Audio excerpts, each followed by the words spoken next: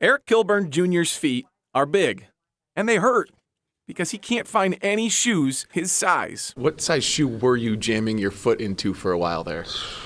I want to say it was a 16, And you should have been wearing a, was a size what? like 20, 21 ish. Oh my gosh. Okay, I want to illustrate to people that may say, what's the big deal about that? Why can't he do it? I wear a size 15.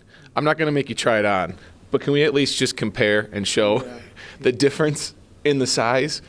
Is there any chance you're getting that shoe on your foot? No, absolutely not. Eric's mom, Rebecca, has worked for a solution for years. Since he was in fifth grade, that's the last time she remembers finding shoes for him on the shelf. At the very beginning, I was just looking for a pair of shoes for him because the only option we had at that point was a $1,500 pair of orthopedic shoes. So Rebecca tried everything and everyone she knew.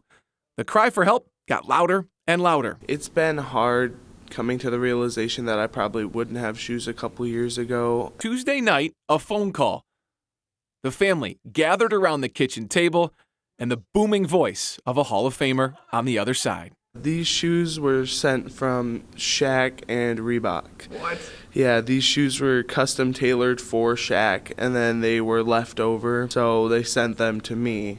Shaq and I had a conversation over the phone. Um, we talked for a minute about football and sports, and then he said, "I'm gonna send you shoes." Shaquille O'Neal's Yes, shoes. Your son is wearing Shaquille O'Neal shoes. He is. He is. That it, it's it's so much amazing things to process. And we've had Reebok, Puma, Under Armour standing behind us and are like, we want to support Eric. Under Armour flew from Maryland to Clarkston to meet with the family and measure his feet. I, I don't have Eric's exact size figured out yet, but obviously he's going to be the largest uh, shoe we've ever built. I'd just like to like thank everyone for being there to help me when I need it most.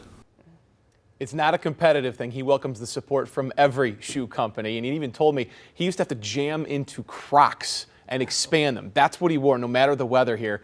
He did say to Crocs, if you want to make a size for me that big now, I'm ready to wear those. the family has a GoFundMe that has exceeded their hopes. They're going to be use those funds for other expenses in Eric's life. They ultimately plan to set up a nonprofit to help other families. They said there's so much goodness happening in their home. They want to spread it because there are so many families in a community they've built online now that are crying for the same thing. Their kids need big shoes. Wow, and it's great to have somebody make you feel like you should feel. Yeah. You know, It's so not cool to even see normal, that. but just how you should feel. Right. Cool seeing that scan too, that technology, oh, how they're doing that. And oh, by the way, Shaq called.